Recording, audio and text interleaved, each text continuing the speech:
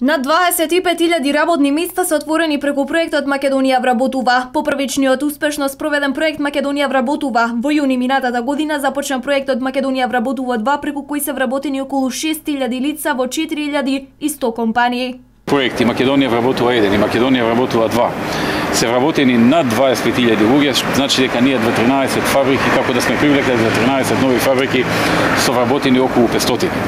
Тоа е одлично, тоа е добро, се овозможи на голем број луѓе, особено од многу потешки категории и ранливи категории, кои што тешко може да дојдат до вработување, да им се најде вработување, да се охрабат компаниите, да ги вработат, односно да им се дадат екстремно добри услови, како никаде до сега, да ги вработат.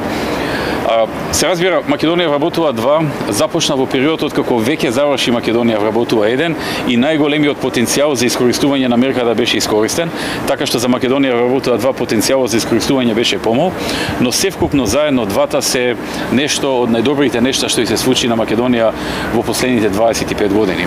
За толку малку време, за неполни две години, само со еден проект во два дела, Македонија вработува еден и Македонија вработува два да отворите над 25 000 нови работни места.